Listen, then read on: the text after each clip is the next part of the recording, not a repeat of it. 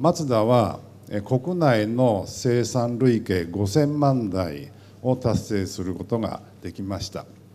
ここまで積み上げることができましたのもお集まりのご支援いただいている皆様それから松田社をご愛用いただいているお客様のおかげでございます。本当にありがとうございました。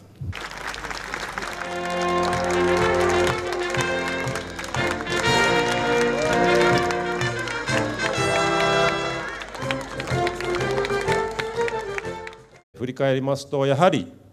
地元をはじめ多くの人々に助けられながら今日の松田まで生き延びてこられたと思います。これからも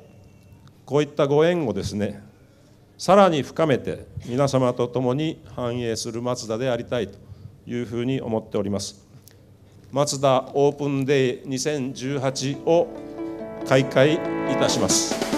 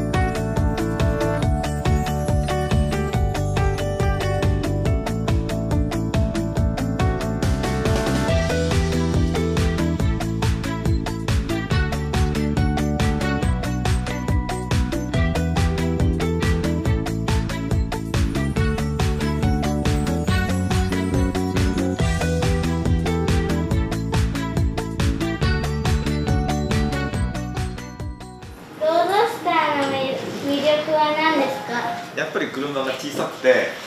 あの運転しやすいですよ。小さいから。小さいから、うん、かっこいいかっこいいのに小さいってなんか嬉しいじゃないですか